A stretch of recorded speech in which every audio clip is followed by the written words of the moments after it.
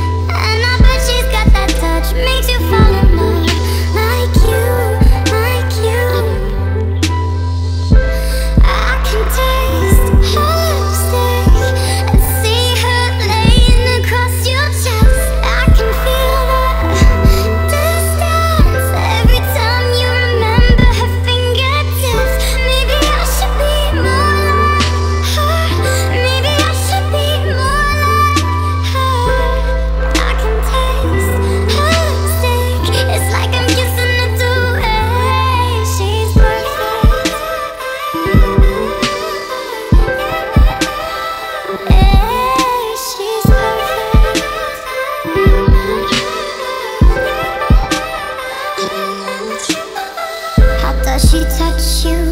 Can I try?